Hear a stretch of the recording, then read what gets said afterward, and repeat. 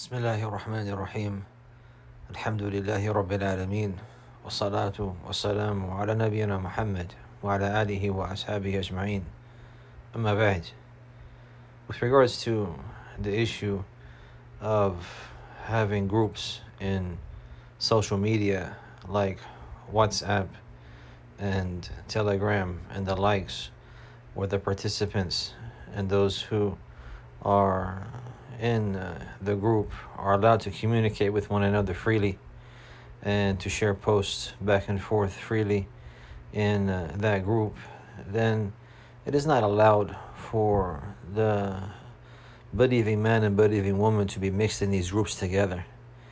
To be mixed in these groups together. Rather, these groups should be separated the males with the males and the females with the females. And this is in order to avoid the fitna. And uh, Allah subhanahu wa ta'ala, He has mentioned in His book, وَلَا تَقْرَبُوا الزِّنَا And do not come near to a zina. Do not come near to fornication.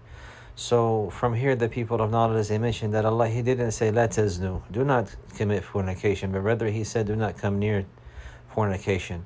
So this is an indication that uh, not only is fornication prohibited, but likewise everything that is a means to lead to it everything that would lead to it. So, therefore, speaking and uh, talking and hanging out and accompanying uh, and looking at the opposite sex and all of these affairs, this is forbidden.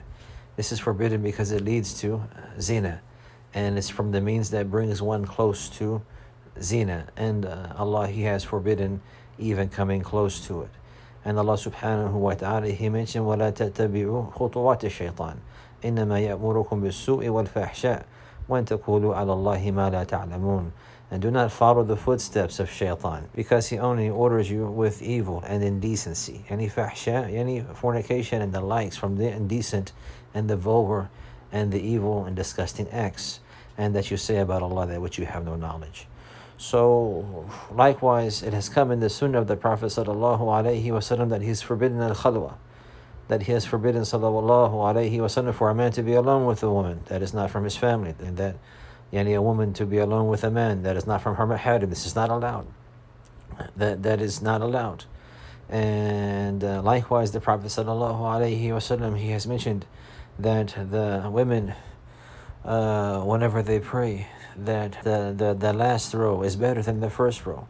And this is to be further away from the men and to be further away from mixing with the men and this is in the case whenever the ranks are close to each other.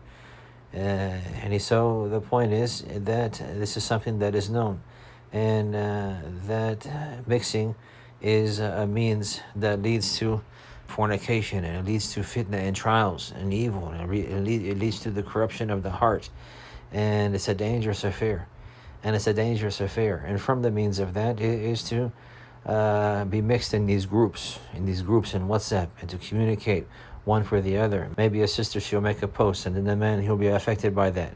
And, and, and he'll uh, and he'll have an inclination to to her opinion or to her opposition, or he'll like the way that she worded her, yani, uh, her post, and then likes like this, and therefore his heart will lean towards her or incline towards her, and this is haram and not allowed, or vice versa. The sister will do the same thing for the man. Or maybe they'll go further than that and then they'll look inside the group and they'll find each other's phone number and then uh, go to a private conversation one-on-one. One-on-one and then from there have the the the zina could occur. The next step would come whenever they would meet and then they would touch and then next thing you know they have fallen into that which is forbidden. So therefore these are the steps that lead to that and this is why they're forbidden this is why they're forbidden. It's forbidden to talk. It's forbidden to touch. It's forbidden to communicate because it, it, these these are the steps that lead to that. And Allah He said, "Wala taqrabu azina," and do not come near to it, and do not come near to it. So therefore, the brothers and sisters they should fear Allah. So therefore, the brothers and sisters they should fear Allah Subhanahu wa Taala with regards to these groups, these majmuat and WhatsApp and the likes, and they should be shy. They should be shy and have chastity and they should have a majmu'ah that is specific for the men and for the brothers alone, with no women in it whatsoever. And likewise, the women, they will have their own. They will have their own groups and majmu'at specifically for the females, for the sisters, alone, with no men in it whatsoever. And even if the people in those groups, the men and the women, they're related in some manner, but one is not the mahram of the other. Then still likewise, it's not allowed to mix. Like cousins, for example A man is a cousin to a woman. It's allowed for him to marry his cousin. He's not a mahram for her. He's not a mahram for her.